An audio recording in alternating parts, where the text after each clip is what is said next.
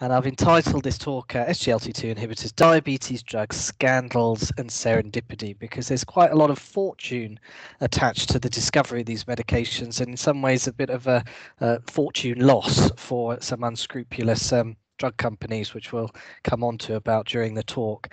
But I always think talks like this and, and sort of clinical medicine uh, is helpful to start off with an illustrative case to sort of see where where these things fit in, where the role is. So um, I'd like to inf- share with you a case of a 57 year old man who's white European in ethnicity, um, type 2 diabetes, which is diet controlled, but not very well diet controlled, giving him an HbA1c of 7 point, sorry, 9.2%, and that's uh, sort of 77 in new money.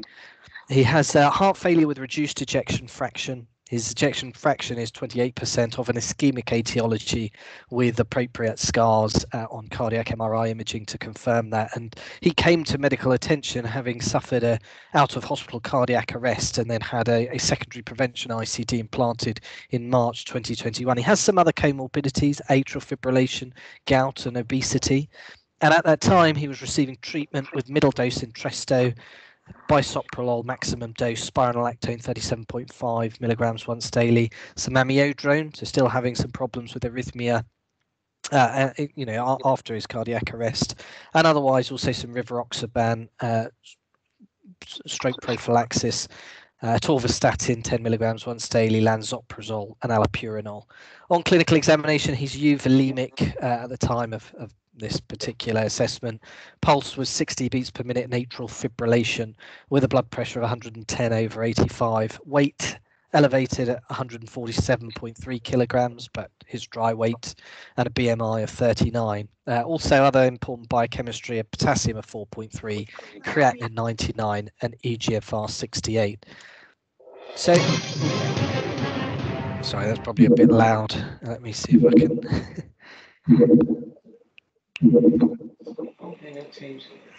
So, um, have a little think um, with that case what you might do next. So I'm putting to you options that you could increase his sacubitril valsartan to the top dose. You could increase his spironolactone up a little bit to 50 milligrams once a day. You could start an SGLT2 inhibitor, dapagliflozin 10 milligrams once daily. Um, and you know, this sort of clue is in the title as well as to, as to what might be, uh, you know, the, the the the preferred option in the end, um, or perhaps offer him an atrial fibrillation ablation. So consider those options in your mind, and at the end of my talk, we'll see if perhaps you know what what you were thinking of doing is the same as um, as, as what we we put forward and why. So introducing you to something that I'm sure you'll be familiar with is the unrelenting march of diabetes. So, if we compare from the 1980s to 2014, so not even particularly current data, we can see there's been an explosion, an increase in the prevalence of type 2 diabetes, um, particularly related to a reduction in physical activity in the general population and, and an increase in, in weight and abdominal circumference. So, as as you I'm sure you know, this is this is currently and is going to be an increasing comorbidity uh, that we're managing in line with heart failure and other cardiovascular conditions. And you know, at medical school, I you know thought I learnt, but actually didn't learn. In fact, that um, diabetes being a cardiovascular risk factor, if you're able to adequately control cardiovascular risk factors, you'll reduce the risk of important major adverse cardiac events like stroke and heart attack. But subsequently, uh, what I learned is that's, that's very true for things like stopping smoking and blood pressure reduction. These are potent uh, mechanisms to reduce risk of stroke and heart attack. But when it comes to control of diabetes, the better control of blood sugars benefits the microvascular complications of diabetes, which is very important. We want to prevent blindness, we want to prevent limb amputation, and poorly controlled diabetes are the leading causes of those diseases in the UK. But in fairness, using any using mostly you know sort of diabetes medications few of them are associated with a cardiovascular benefit. That is a specific reduction in um, risk of stroke or risk of of um, heart attack. So that's quite curious. Despite these agents perhaps being potent in helping to control diabetes they're not particularly um, cardiac beneficial we can what we can talk about is the, the two groups of diabetes medications that are that do have you know quite potent and um, positive evidence of being able to influence cardiovascular risk and being able to treat heart failure, being able to reduce risk of coronary artery disease. Or just to remind anyone who's not on mute at the moment, if you just make sure that your microphone is muted, um, just because uh, we can just hear a few people in the background. Um, so SGLT2 inhibitors, GLP-1 receptor agonists, good for the heart, and probably the only two proven classes of diabetic treatment that do have uh, clear cardiovascular benefit. Then we I'm going to sort of lead you through a little bit of a story about thiazolidine so the glitazones, pioglitazone, rosiglitazone, because they were shown to um, precipitate edema and worsening heart failure, heart failure hospitalization. So those now you don't really see in clinical practice because of their negative consequences to the cardiovascular system. And most other treatments are, are neutral, including insulin and, and, and other agents that are effective in controlling HbA1cs and blood sugars. So, a brief uh, look through history and the lessons learned from 1999 uh, to 2008. Um, and this is now about the, these glitazone medications. So rosiglitazone uh, was approved by the FDA in 1999 and the European Medicines Association in 2000. So FDA, um, I think, a Federal Drug Asso- uh, uh, Association, an American uh, company for the treatment of diabetes. However, there were signals that this medication was causing fluid retention and heart failure as as recognized problems. Um, and then initial studies at that time had indicated with rosiglitazone there was a, a, an unfavorable increase in LDL cholesterol of about 18% and a suggestion that there may be a hazard of acute myocardial infarction so a, a sort of a, you know almost an 80% increase in risk of of acute MI, but actually that was not statistically significant in the early studies. So this uh, confidence interval crossed one. So we couldn't be sure that necessarily this um, the, this warning sign was was true and would require further monitoring.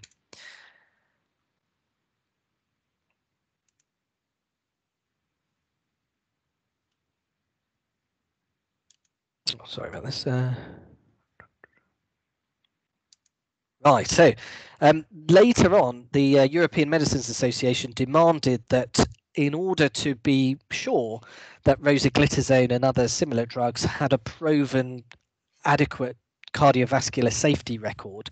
As a condition to their approval, uh, there had to be prospective trials ongoing to look into this. And there was one published in the Lancet in 2009 that is is sort of marred in a bit of controversy in how it's presented its results. But effectively, it took nine years after drug approval before the publication of, of record of looking at rosiglitazone and suggested that um, you know perhaps at that time there was still no clear signal of uh, cardiovascular harm and, and things continued.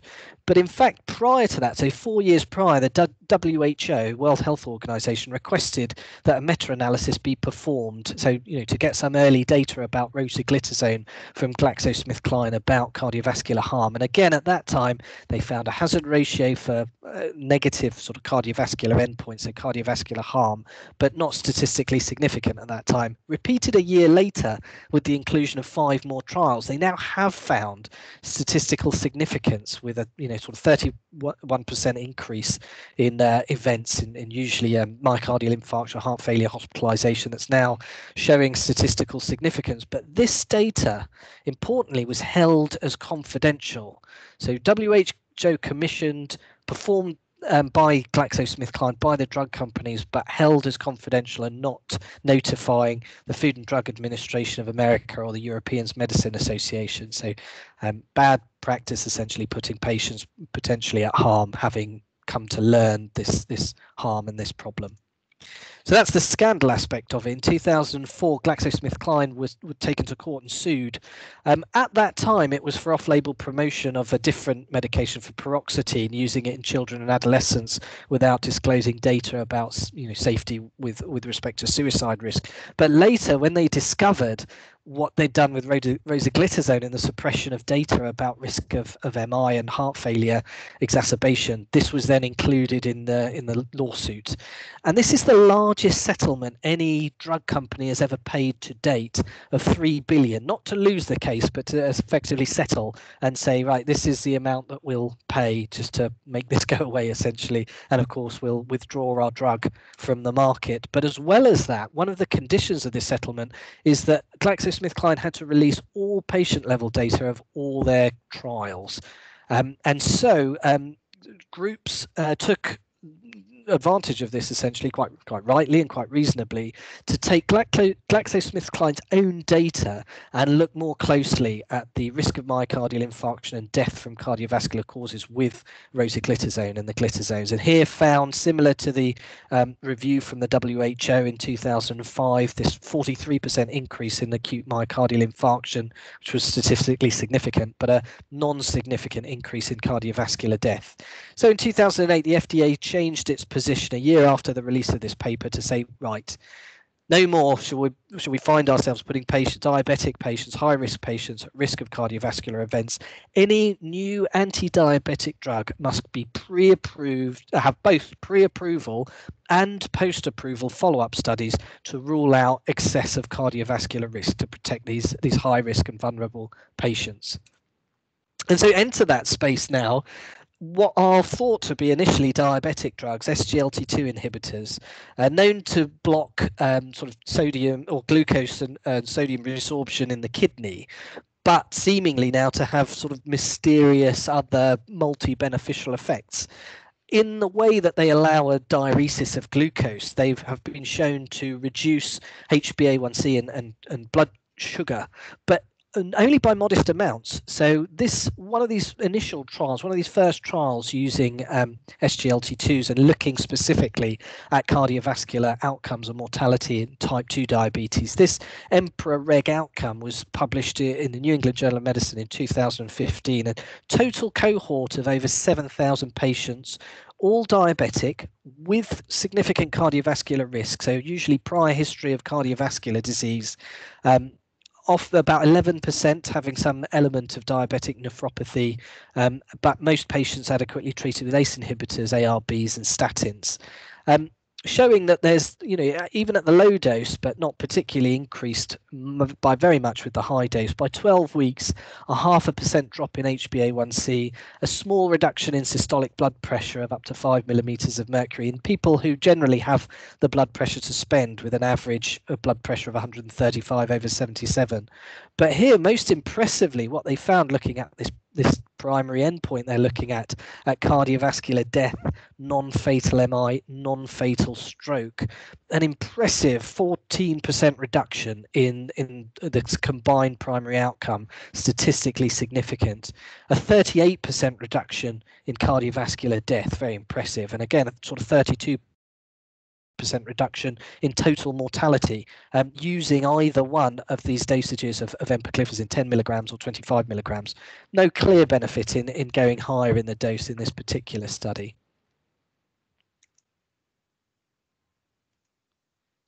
You had to have diabetes to be in this study. You had to have prior cardiovascular disease.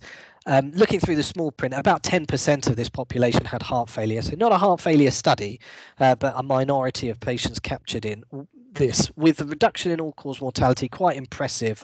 Number needed to treat to benefit one patient is 39 to save a life, and you know 46 to save a life from a, a cardiovascular uh, reason. So, next study I'd like to sort of introduce you to, or the sort of next evolution four years later, was a, a heart failure specific study, DAPA-HF, uh, published in the New England Journal of Medicine in 2019. This is a study that included nearly 5,000 patients who had heart failure and reduced ejection fraction with an EF of less than 40. Not all had to have diabetes, so about half didn't, you know, 45% did, so a bit more than half didn't have diabetes. And again, we're seeing as a not now as a non-diabetic drug, as a heart failure drug, we're seeing a, an impressive 26% reduction in a composite endpoint of cardiovascular death and worsening heart failure. We're getting a 25% reduction in cardiovascular death or hospitalization and a 17% reduction in death from any cause. Life saving prognostic drug um, seen in patients with heart failure with reduced ejection fraction, regardless of whether they have type 2 diabetes or not. Um, so very impressive with a typical blood pressure reduction, a bit more modest than the EMPA-REG outcome study of two to four millimeters of, uh, of mercury systolic and one to two diastolic. And again, as I'll show you in later slides, it's more about what you have to spend as to how much blood pressure it's going to take off you. But impressively, you know, reduction in heart failure hospitalization, 25%, you know, really useful um, arrow in the quiver for treating heart failure. Very safe drug as well. So interestingly, lots of things about SGLT2 inhibitors had been, uh, you know, a concern. Fournier's gangrene, risk of uh, diabetic ketoacidosis, risk of hypoglycemia. And you see, when it comes to hypoglycemia, there's no difference between dapagliflozin and placebo. Um, when it comes to Fournier's gangrene, fracture, infection, we're not seeing a, a, significant rise. The exception here will be in thrush genital infection, where there is still quite a rare signal for that to occur with dapagliflozin. Um, but uh, that's you know probably the only take-home message is, is sort of fungal um, candidal genital infection is the thing to caution patients about because actually you know the blood pressure reduction here in DAPA HF up to two millimeters of mercury systolic but we're seeing three cases out of 2,000 of diabetic ketoacidosis exclusively in the type 2 diabetic patients. So those of those 45%. Um, and you know there, there are sort of risk markers of people who have um, closer, more tightly controlled HbA1cs who are at greater risk. Um, of, of that complication. It being euglycemic makes it slightly more challenging to diagnose. And again, the HbA1c reduction fairly modest. So in this study, 0.2%, um, and as you'd expect in placebo, there's not a reduction there. So talking about blood pressure, well, interestingly, the more you have to, to spend, for example, a systolic of 130, you might expect dapagliflozin to drop the systolic blood pressure by 4 millimeters of mercury. But if actually your blood pressure starts off low, less than 110, then actually this medication is still relatively safe and well tolerated, though you might lose you know two millimeters of mercury rather than four interestingly the effect here over time tends to, to lose. And this is also true of its HbA1c control and its effect on increasing serum creatinine or dropping EGFR. It's most likely to, to reach its, its largest magnitude in the first two, four weeks. But after four weeks, you'll see a recovery and things trending back to baseline, almost showing that the effect of the SGLT2 is, is sort of wearing off. But interestingly, that's only for things like hypotension, uh, creatinine uh, deterioration and HbA1c lowering. It's not for the heart failure hospitalization. Uh, it's not for the good uh, outcomes that seem to you know, persist long term, and then the renal protection as well, which we'll come to. Um, not only is it a drug that's fantastic for prognosis, it's a drug that's really good for improving quality of life. So you know, putting putting quality back into the years as well as you know years back into to life as well. So this is a study showing a, a 3.7 point improvement uh, over 12 weeks in the Kansas City um, cardiomyopathy questionnaire, and that seems to be felt in both symptom score and general quality of life, uh, with with less physical limitation. So a, a, drug that, when you compare it head to head with something like sacubitril valsartan, seems to be promoting its quality of life improvement earlier than uh, sacubitril valsartan was was sort of tested to do, but they were specifically asking their questionnaires a little bit later. Um, but also the the magnitude of of point improvement or score improvement seems to be comparable, if not a little bit higher. So you know, again, a drug that can make your patients feel better. Um, relatively soon, so within three months after starting to take it at a statistically significant level. So then uh, entering the field and looking a little bit more about other benefits outside of heart failure, looking at renal benefits as well. Uh, started off with empagliflozin in the Emperor Reduced trial. So now we're in 2020 again, published in uh, the New England Journal of Medicine, a study recruiting um, I can't remember how many patients in this study, but uh, oh, nearly nearly 4,000. So 3,730 patients, all heart failure with reduced ejection fraction.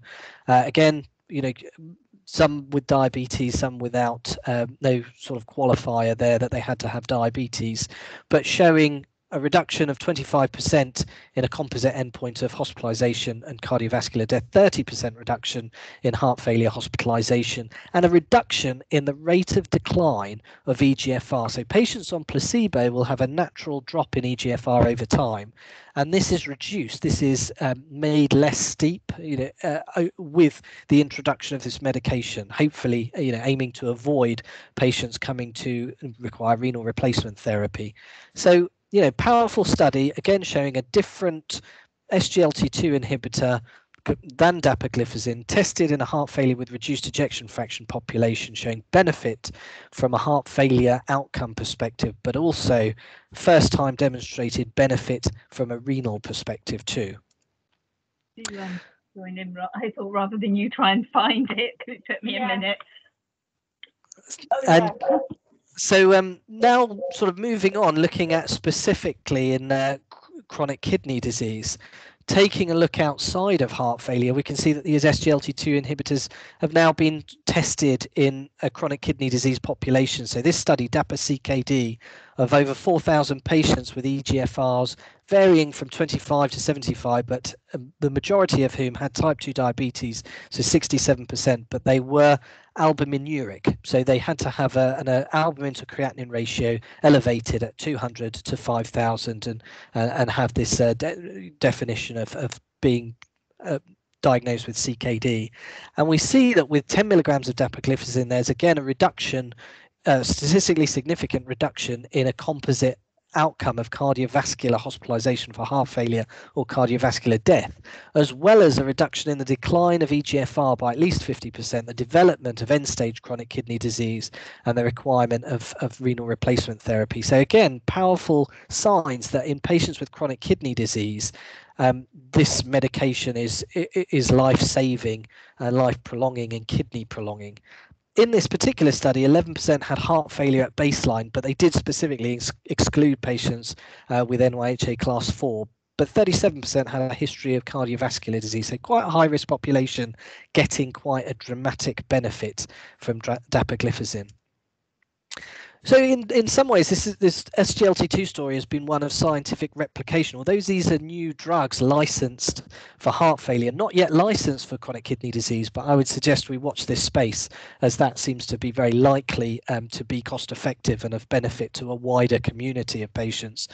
But although they're new to us, we could consider that these studies have now been going on for some time and many of them have reproduced the same findings. So there's a lot of consistency across these studies. We can see that we're not necessarily having to stick to one SGLT2 inhibitor. We're seeing that different SGLT2 inhibitors are being tested here and all showing sort of similar benefit, particularly when it comes to things like heart failure, hospitalization, which is quite a consistent benefit of a drop in about 25 to 30% across all of these groups. But we're also seeing that some of these studies they're sort of targeted to specific populations. So you can see the earlier trials are diabetic patients. Then we've got Credence, for example, is diabetic and chronic kidney disease. We've got Emperor Reduced DAPA-HF, which is just heart failure, and Soloist, which is heart failure and diabetes. Now we've got chronic kidney disease and diabetes studies um, conducted in SCORED and you know solely chronic kidney disease study in DAPA-CKD, all of which so showing quite dramatic benefit of SGLT2s in these populations. Some of them mixed, some of them you know solely diabetic or heart failure or CKD in their design.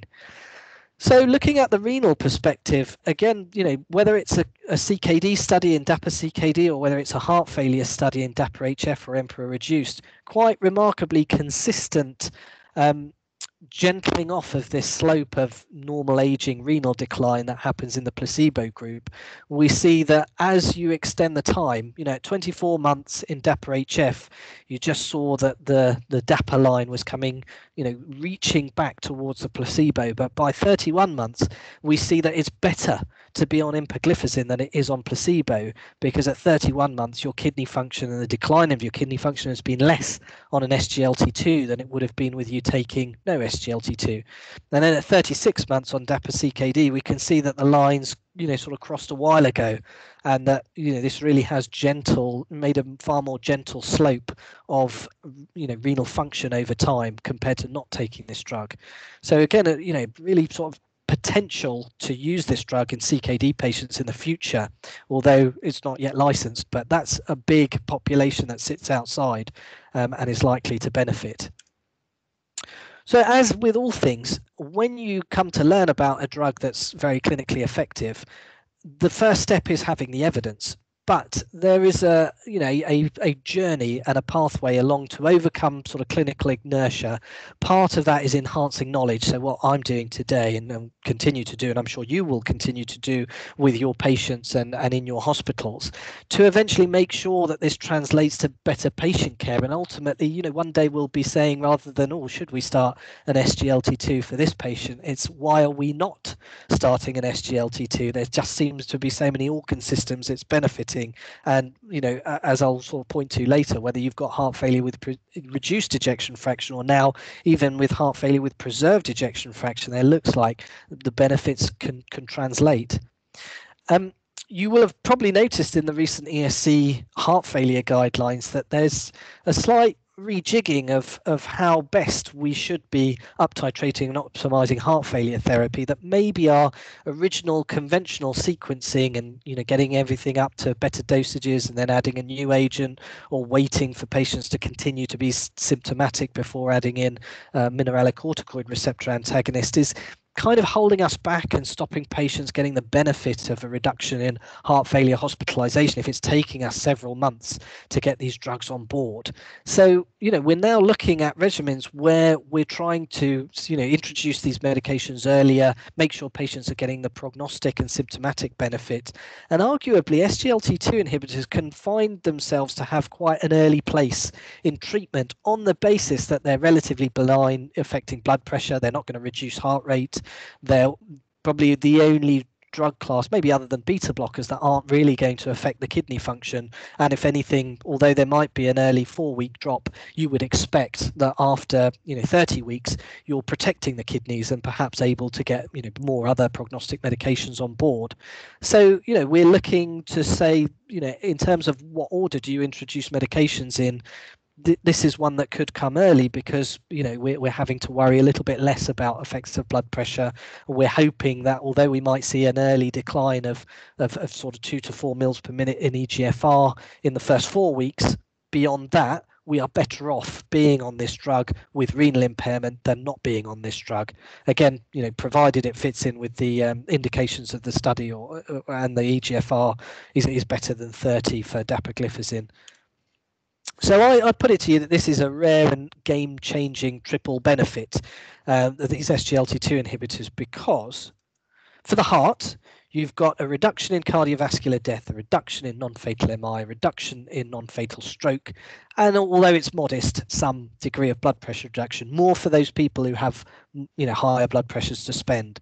For the pancreas, yes, you're getting a reduction in glucose control. So for diabetes, you're getting a maybe on average 0.4% reduction in HbA1c it can help you lose weight. That's often important to a lot of patients. So up to two kilograms of weight loss might be achieved with this medication and this is it if you don't have diabetes but you have heart failure your risk of developing diabetes after being introduced to this drug drops by nearly a third. So these medications in some ways if you've got heart failure it treats heart failure. If you've got diabetes it treats diabetes. If you've got chronic kidney disease it treats that by reducing pro- progression of that. But if you don't have heart failure but you've got high cardiovascular risk, it protects you and prevents you from getting heart failure.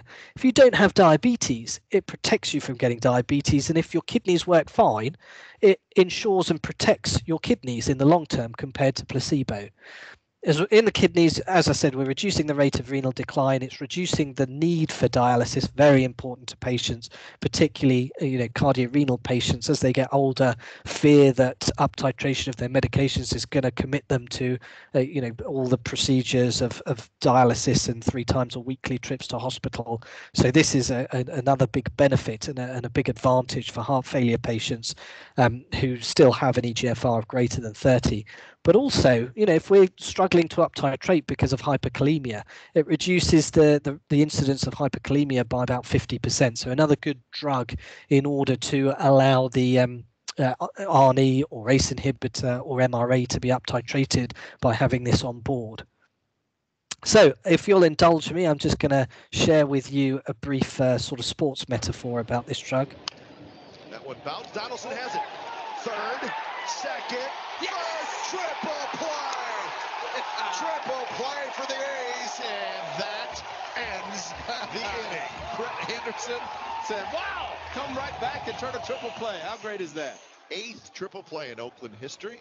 Last one was we showed the Randy Velarde unassisted triple play triple plays in baseball don't happen all that often. They'd probably be once every sort of few seasons. Generate a tremendous amount of excitement, and I think that's that that's a reasonable place for us to view these SGLT2 inhibitors, how they're benefiting three organ systems at once. And even if you don't have problems with those organ systems, you're getting protection from from those problems in the future from a practical level, we need to warn patients about a risk of uh, genital thrush infection.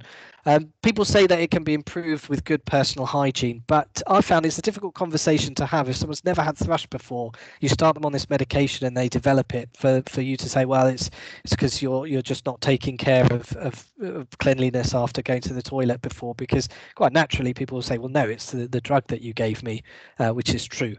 Um, so it's usually a one-off. It will be treatable with with Canesten or any thrush treatment. Um, and, and as I say, relatively rare, maybe about one in 500 patients might suffer this complication. There's a mild increase in diuresis, so normally you can counsel patients it's, it's sort of one extra trip to the toilet to pass water, rather than being a very powerful diuretic like furosemide, which often puts puts patient off the idea of additional diuretics.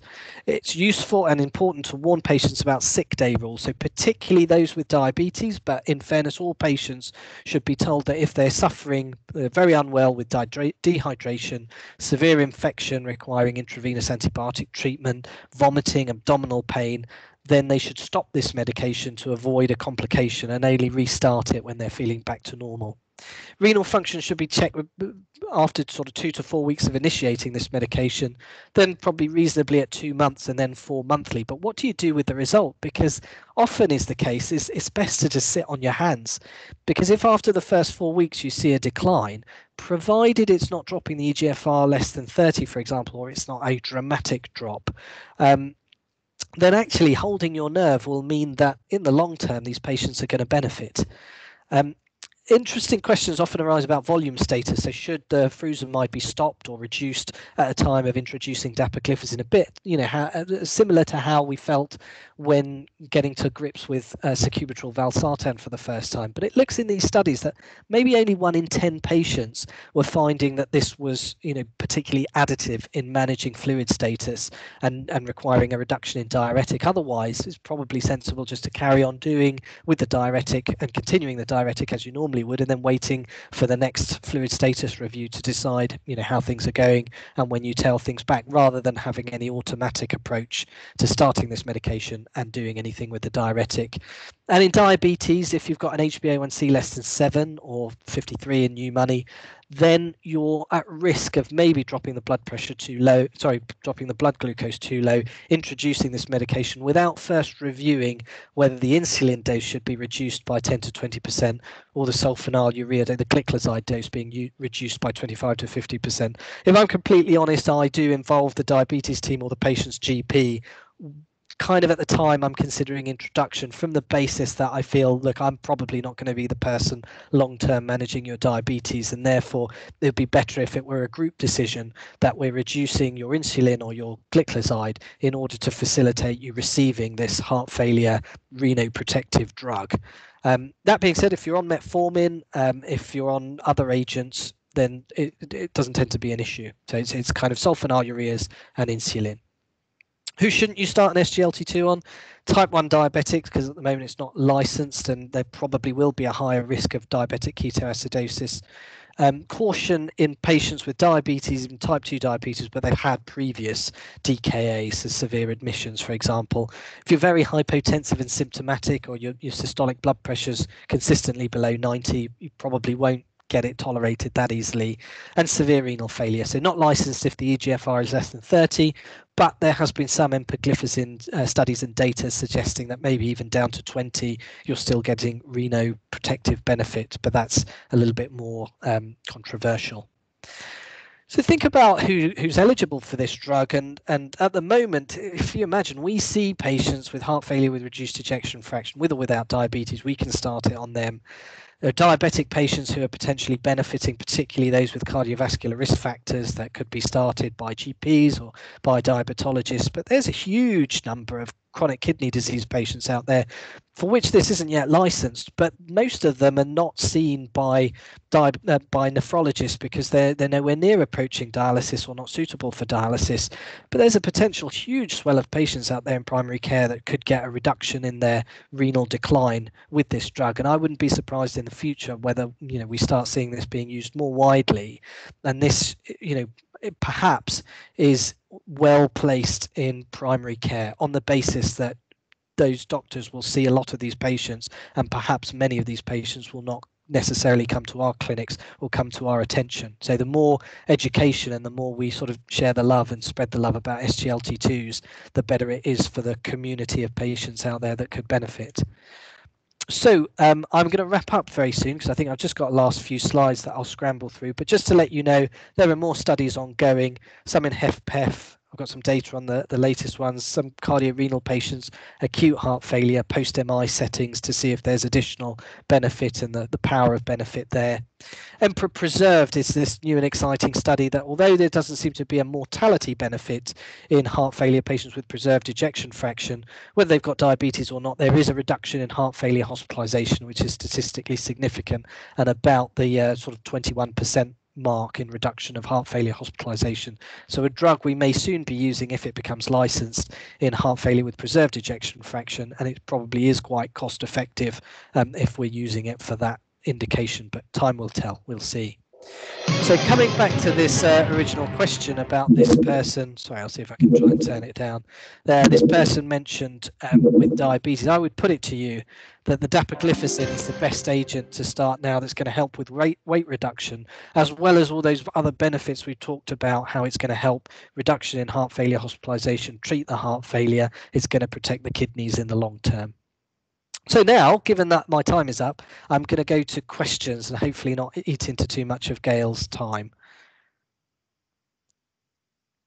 Thank you so much, Andy. That was absolutely fascinating. Um, so yes, any questions?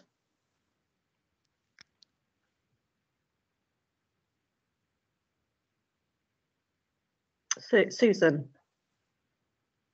Hi, uh, yeah, it's um, thank you for the presentation. It's really, really helpful. Um, it's not really a question, it's more kind of a thing that we have in the community because obviously we have to follow our network guidance for the prescribing. And it's easy when we get non diabetic, it's fine. We have to initiate the prescription. Once they've been on it, we can then ask the GP to go on after that because it's still an amber 2. Um, but the problem that we have is when we have a diabetic patient who may be on one or two agents um, they say, okay, get diabetes advice. A lot of the patients in the community don't have a diabetologist, they're seen by the practice nurse. And then we're kind of left in a quandary of what do we do? Because we've been told to seek advice from a diabetes doctor. We don't have one necessarily who knows the patient. Sometimes we, if we ask our um, consultant cardiologist and they're happy, they will give advice. We can then pass that on to the GP. With that, some GPs are happy to do it some GPs still know. Um, we've got a lot of discrepancy with the information that the GPs in the community seem to have about it. And I, I, I just kind of wanted to raise it and see what if what the thoughts were about that. Yeah, I think that's a really good point, and I just think we, well, I mean, even when when we were starting to introduce this drug to inpatients, there was a lot of talk across. Okay, can we have a diabetes lead and a renal lead to talk through, you know, specific, you know, uh, circumstances that might crop up and how best to advise. But I guess with all these new agents, you know, certain people know what has happened in those clinical trials that have been run and what the safety is but that information just takes a while to, to spread out to people. I do I sort of share your your um frustration with this as well in that you know sometimes there isn't really a, a, sort of clear person who feels comfortable to make new changes in someone's diabetic regimen but what this is effectively is mostly i mean there's just so i guess what i've sort of tried to put across is this, there's so much benefit that lies outside of diabetes with this drug that even the small diabetes benefit means that if we could convince someone who's who's kind of interested in taking on the patient's diabetes to substitute this in for perhaps something else that the patient's currently on that might be you know only helping with the diabetes control but not necessarily giving all these additional benefits and we can introduce this safely without worrying that its introduction has l- resulted in hypoglycemia that's that's you know caused the patient problems then you know that would be an advantage. I think with time these things will come. I think it's just with all these things we'll always find that there's just a slow proliferation of experience and education and understanding. And over time as well as gps practice nurses diabetic practitioners will just see more and more patients on this and become more comfortable that it doesn't lower blood sugar that much. Uh, the, you know, there'll be some things like GLP-1 receptor agonists that are used in diabetes. There, there aren't that many studies that look at co-administration with SGLT2. So what they say is if you've got a lot of cardiovascular risk, but you don't have heart failure, maybe the GPL uh, one receptor agonists are maybe better for that diabetic patient. But if you've got heart failure, which is the population we deal with, then probably dump the GPL1 receptor agonists and go with DAPA instead. And patients will like it because the majority, uh, uh, some of these GPL1 receptor agonists aren't oral medications, they're injectables. And if you tell a patient, well, you don't have to inject, and we'll give you this tablet instead, most of them would approve. So some of them may just be winners for the patient as well.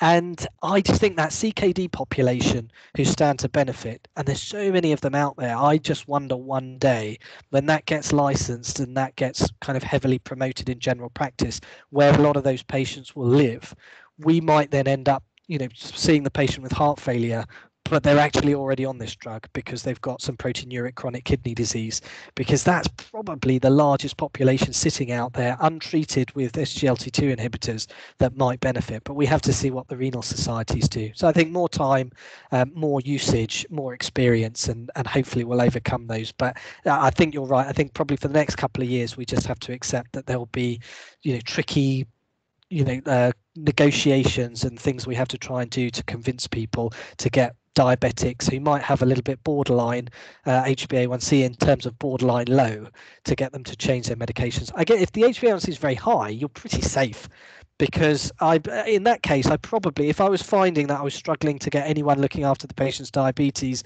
to make a decision on it, uh, exactly as you pointed out, when you take it to your cardiologist, they probably say, look, HbA1c has been nine for several months. We're just going to add this into their other regimen of drugs because clearly they need more control, and this is going to help with that. It's going to help their kidneys, it's going to help their, their heart as well. Just Brilliant. Thank you sorry, just to jump in and say there is a new Southeast London guideline that's being approved in the process of being approved for diabetes and dapagliflozin, and it's got a really nice flow chart of when it can just be started, when you should refer to the diabetic team. So hopefully, when that when that comes out, it will help in these situations where it might be a little bit less clear cut. Perfect. And I think, yeah, probably, you know, 80% of patients will kind of probably go down the pathway that you could just say, look, start it and you don't need to change anything else. And that will simplify things for, for everyone. Um, hello, just one question. Um, basically, um, the risk has been mentioned as um, you know genital thrush. Um, is it suitable for the patients you know who get recurrent UTI? Um, is there a risk of uh, getting you know? good question. Yeah, yeah, very good question. Because these trials were done in diabetic patients, it was not uncommon for them to find patients who had recurrent UTIs and, and perhaps were chronically on antimicrobial prophylaxis when it comes to bacterial urinary infections, so these recurrent UTIs, it doesn't appear that dapagliflozin increases that at all or increases the risk. So we can be quite uh, sort of exclusive in saying this could be a problem for patients with recurrent genital thrush infections. But if you're a recurrent UTI patient, for example, on long-term nitrofurantoin, actually there's no reason that this drug would cause you problems or increase your risk of UTI infections. With ongoing long-term surveillance, all these things are up for you know changing and reviewing. But so far from these large and as you've seen, I've shown you there's sort of multiple thousands of patients of studies. Many of them would have had potential problems with recurrent bacterial urinary tract infections, and none of them seem to show that introducing SGLT2 inhibitors was a problem with bacterial urinary tract infections. Thank you very much. Thank you. No problem. Uh, Andy, we've got uh, somebody with a question in the comments. Um, is it right that patient with CKD plus heart failure can have DAPA if the EGFR is less than 15, prescribing from a CKD point of view? Sorry, greater than 15, can have DAPA if EGFR greater than 15, prescribing from a CKD point of view. So I think this uh, EGFR range of sort of 15 to 30, we don't have a lot of data on, and we probably need to look to our renal physician colleagues to see what their views are in terms of what could be the benefit for this patient outside of those trials that have currently been conducted, because those current trials we have don't include patients with EGFRs in that sort of 15 to 30 category. If the EGFR is above 30, then you're absolutely right. Uh, they, you know, there seems to be benefit whether you're looking at a, you know, predominantly CKD study. EGFR greater than 35 looks like it's a good thing to do, and ultimately in the long term, better than being on placebo being on an SGLT2. But I would just say that 15 to 30 range, we don't have data on.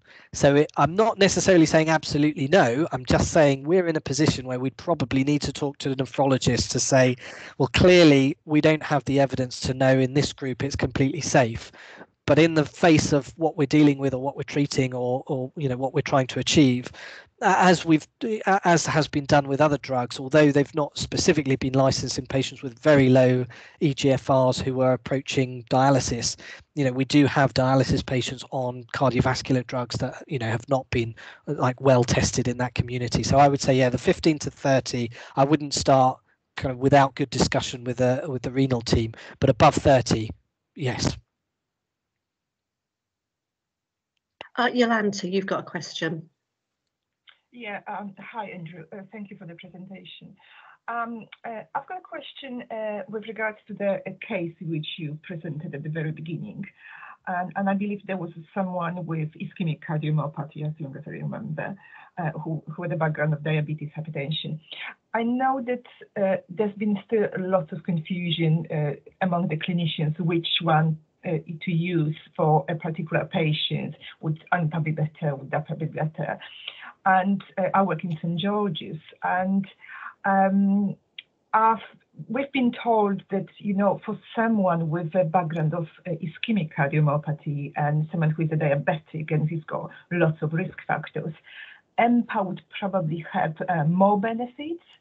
Um, uh, we haven't got a sort of structure pathway yet. But, um, I wonder whether you could comment on that uh, from your sort of experience and, and point of view. Yeah, it's a very good question. And to be honest, I don't know. And it's something I'll certainly go away and look into a little bit further. But my reading of all the trial data so far is at the present time, nobody's really been sort of or a profile of patient hasn't really been selected out um, to this stage where they might benefit from one particular type of SGLT2 inhibitor compared to another.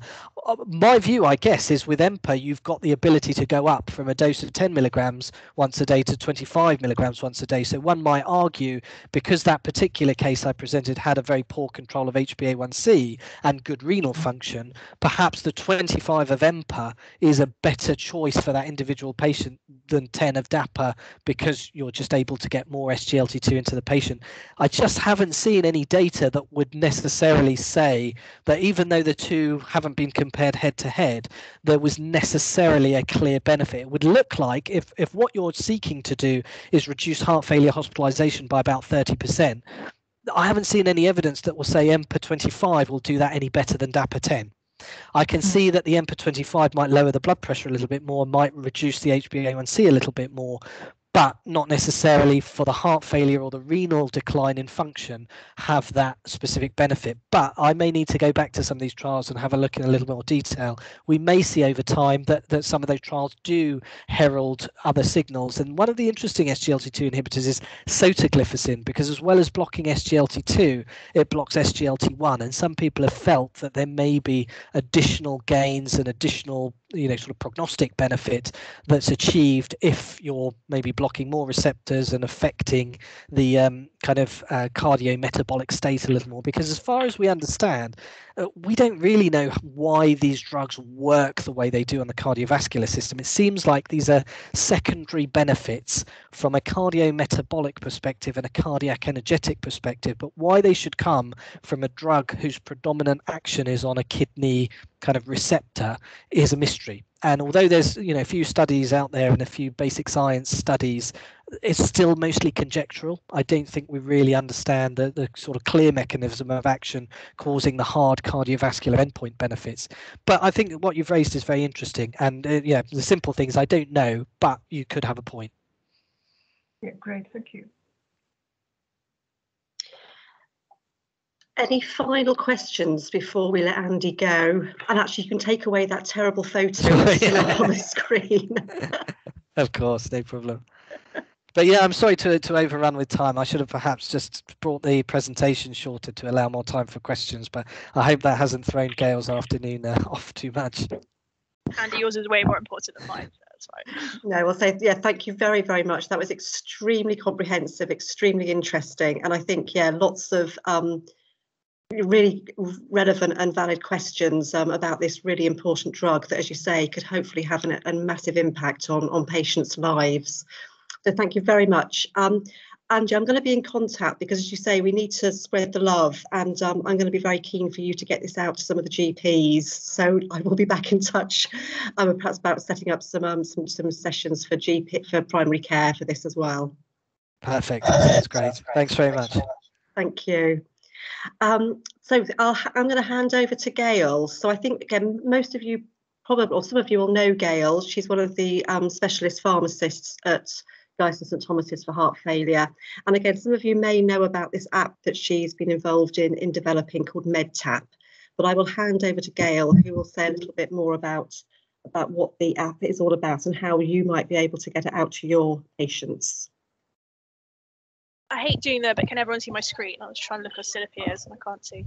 Yeah, no, we can't. We can see it. Okay, yes. Brilliant. So, um, yeah, I my name's Gayle. I'm Heart pharmacist at Guy's and St Thomas's, and apologies if you've already heard me talk about this. I um, I'm trying to kind of get the word out. So, um, a little while ago, I helped create um, an app called MedTap, which is an information patient information and reminder app. So, I guess just to kind of give a bit of a background as to why we might want to have something like this. Um, I'm sure as heart failure nurses, you are all fully aware of the difficulty in terms of adherence to medications um, with patients. Um, so obviously adherence is the extent to which patients um, actions match what they're supposed to be doing.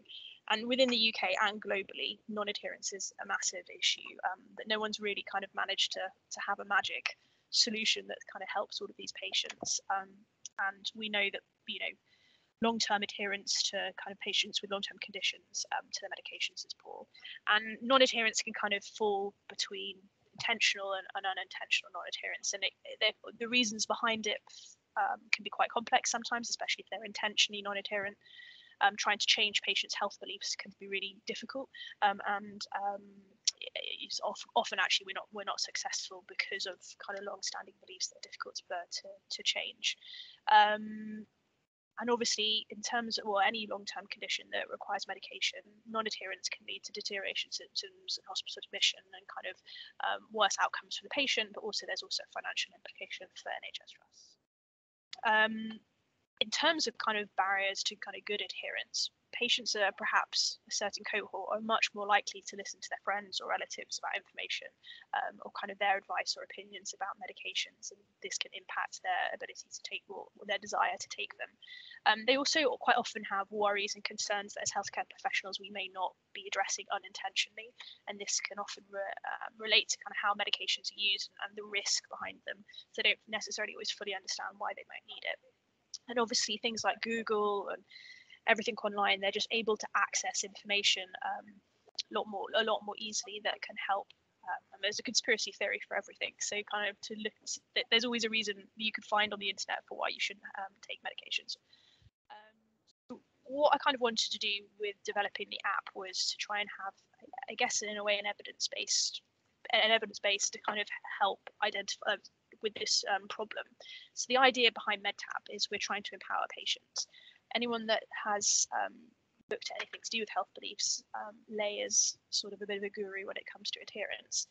And looking at this kind of diagram, it's helping to improve patient understanding, will then improve their ability to recall that information when they need it. This will also help improve the satisfaction um, with the information that they that, that they are with the information they've received and ultimately their adherence. So it can be quite complicated to kind of get to the point where the adherence is improved. Um, and so kind of what we wanted to do was help to um, patients have quick and easy access to, to digital information.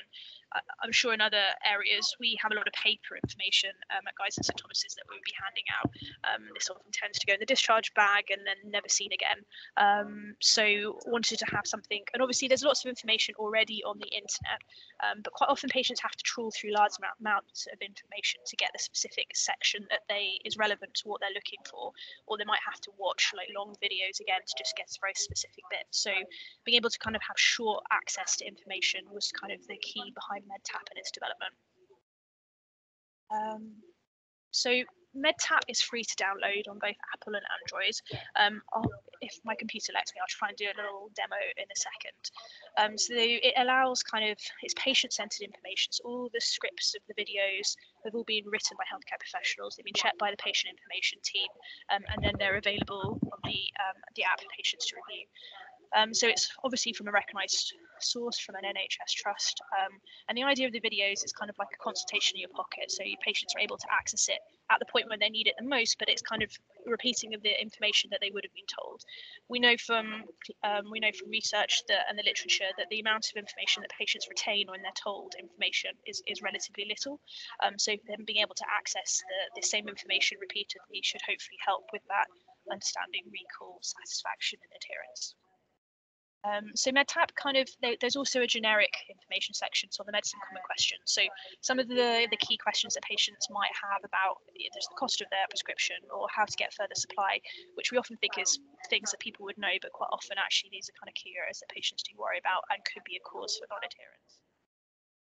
So in terms of then the conditions, what we try and break it down into is why a medicine needs to be taken with uh, for that specific condition, then how specifically it works, um, then also then videos about the side effects of medicine and what patients need to do they suffer from any side effects or problems, and also then just practical advice on how to take it. And this is linking back to work on the kind of um, reasons why patient or information that patients want to know that they don't necessarily think they're always told by their healthcare professionals. So um, this is going to allow me to play it. So this is one of our videos. Um, they all follow the they all follow the same format. Um, they're all kind of linked to the Guy's and St Thomas's YouTube channel, so the patients are able to watch it through the app. So this is how to monitor your symptoms of heart failure. I'm just going to try and come out of this. Let's see if I can show you a little demonstration on my phone. Okay, so this is, can you, hopefully you can all still see that. So this is how MedTap comes up on the main screen um, when you when you log into the app. So I guess just to also say the information that patients put into this into the app is not transmitted anywhere. Um, part of the reason behind that is I, I, don't know if anyone's ever looked at the tele uh, monitoring uh, trials within heart failure. They were all sort of not conclusive that they were beneficial in the long term. And obviously, for a clinician perspective, there's a huge amount of work required into kind of tracking that information that comes through. So the, there's there's still lots more information to be added um, to the app, but this is kind of how it is in, in, its format currently. So we break it down. So it's not just cardiovascular, we do have some other information available as well. So for heart, your patient's got heart failure, and then these are all the um, the videos that they can watch. So they just press play, um, and uh, unfortunately, I'm on the NHS Wi-Fi on my phone at the moment, which does unfortunately block the videos. But the video is just then able within within their um, or on their phone, and they can just watch it there. The video is not downloading, so if they've got worries about data, it shouldn't be a problem, or they can just kind of use um, Wi-Fi wherever they are. So there's a number of different heart videos available. Um, we also have some dermatology videos um, that have been done by Guy's and St Thomas's. Um, we also having kind of worked with um, some of the other pharmacists, guys and pharmacists that wanted some information available, we also have a number of kind of um, pills that we also have available for patients to view.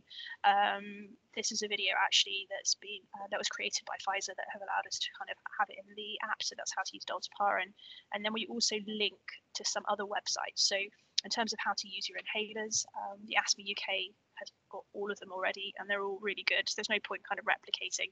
And again, patients can then um, access those through their phone. Um, the other area um, which we also have that I think is really useful, especially from a non-adherence perspective, is the ability for patients to add their medications into the app. Um, so they can just add them. Again, this information doesn't kind of go anywhere. It's just all it's all saved um, within uh, on the phone. It's not transmitted anywhere. But patients are able to kind of um, add their medicines and also helpfully, especially kind of where unintentional non-adherence is a problem, set reminders. Um, so this reminder will go off with on their phone. It will come up as an alert. If they've got it on silent, it should still come up as a banner across the app saying time to take your medicines type thing. Um, and so patients, if it's just the evening ones that they're forgetting, they can kind of select. And they can you can individually edit the times of when you want to take your medication. So it can be if you want if you want to uh, um, edit that, you can. We also link to a number number of websites, um, and patients can, if they just want to put um, separate notes in, or if they want to document their allergy status, that's all available to come to do within the app as well. Um, just go back to the other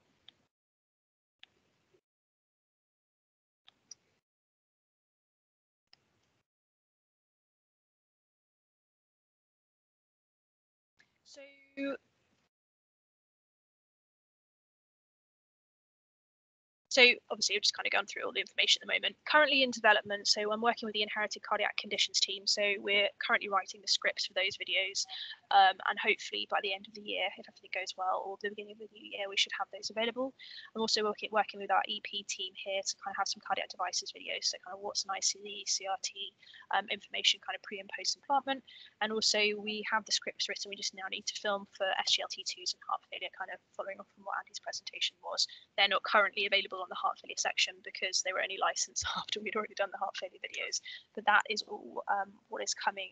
Um, and um, yeah, so that that's kind of what's on board to to be added next. I just have a nice little case report actually. So we've had some nice feedback from patients that use the app. Um, hopefully you would agree it's it's simple. Um, we've tried to really go for simplicity in terms of how to use it. I did do a little bit of kind of because I know one of the common uh, questions or comments I get about using an app in a heart failure population is the age of patients and whether they have the ability to be able to to use an app. Um, we did a little small scale review across an age range, so kind of for patients from 30 up to 90. And actually, the key thing is, and I guess especially with the pandemic, most of the patients have access to a smartphone. So we kind of did a sample of 50, 48 had the had a smartphone. Um, understandably, as the patient's age increases, kind of the the confidence in being able to use an app diminishes.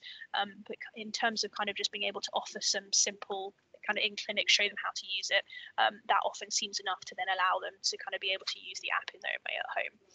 But there was just a story that we had from a, a patient that was incredibly non-adherent that was under our heart failure nurses.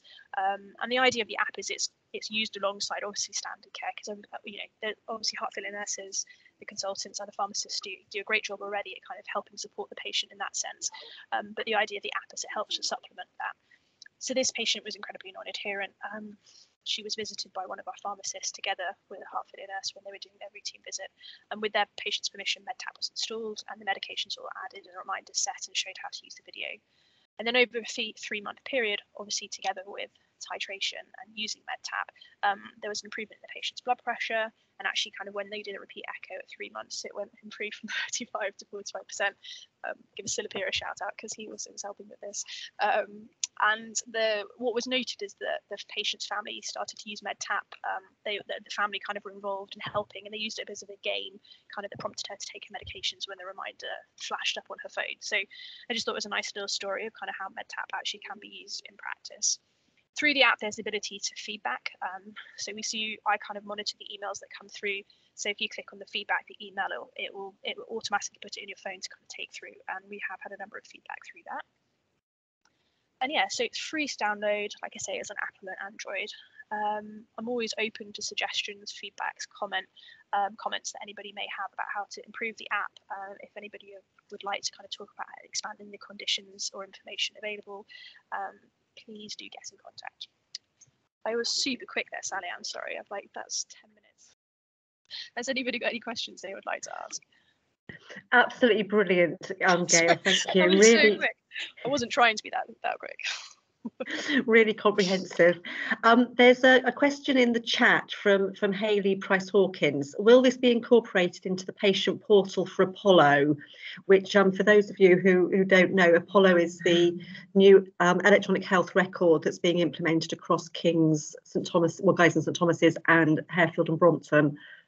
So I'm not of Apollo in any way. I do know that they have their own app as kind of part of the package, and I don't know what Guy's in St Thomas's have signed up to in sort of in terms of that being used. Hopefully, uh, there are kind of further discussions, I guess, that need to take place about that. Um, I, I, think the app, I think it's called MyChart or something that's used with Epic.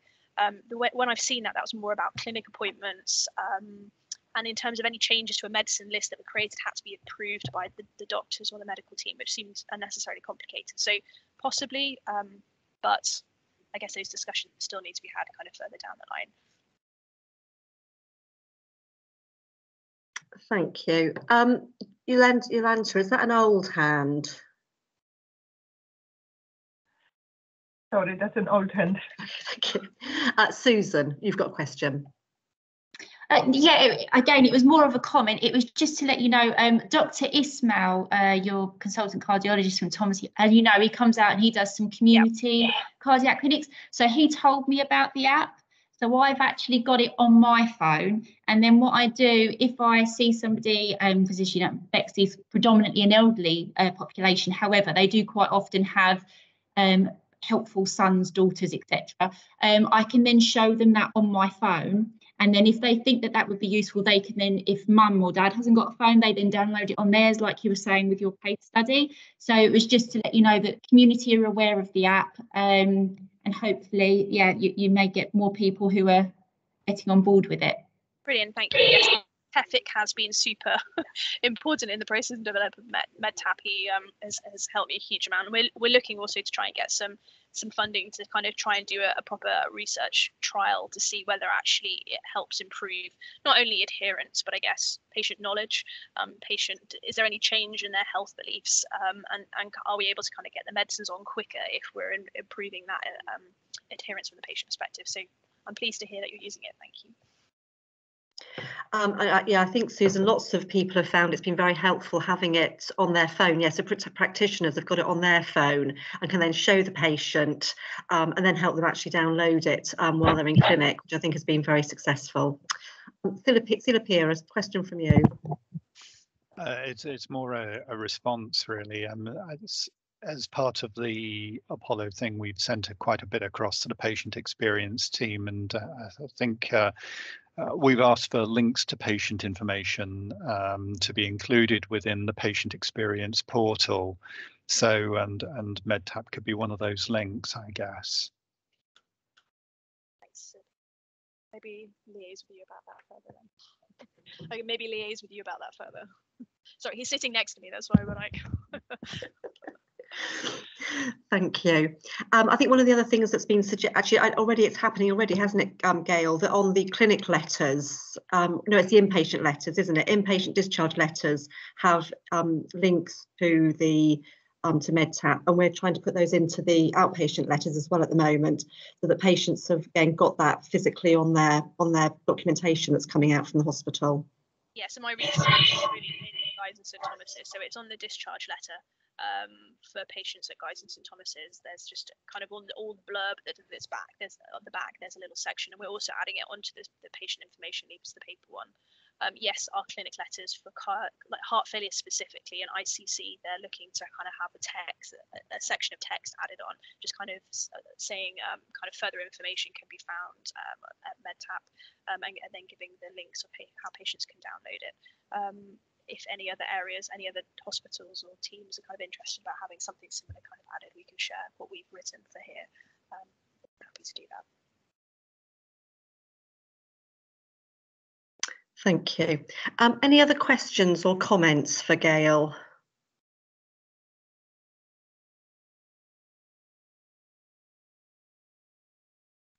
It'd be, it would be very interesting to know how many people actually knew about about this before Gayle spoke this afternoon.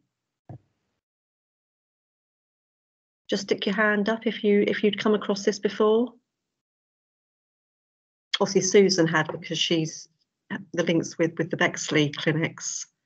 So thumbs up. So, so not there's so so so I don't think we've got anybody. Um, so what we'll do um, when I send out the um, the link to the recording of this, and Andy has shared his slides, so I will share those as well.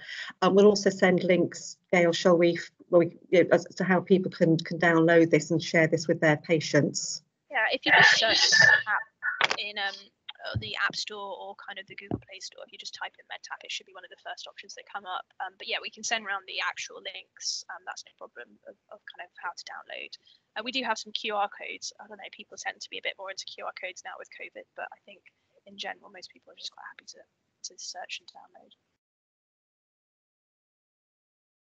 Any final thoughts or questions?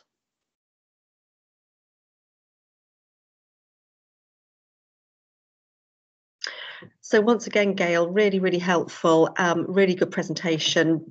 Brilliant to see the app expanding. So I've sort of seen it grow over the last few years, um, and it's starting to look really comprehensive and a really useful tool for the heart failure patients. So thank you. Um, so we've now got time for anybody to sort of raise anything that they'd like to either share with the group or to ask for support in any way. So there isn't anything else um, sort of really that we want to structure specifically, but this is an opportunity for people to, to share thoughts, questions, um, ask for ideas or, or support.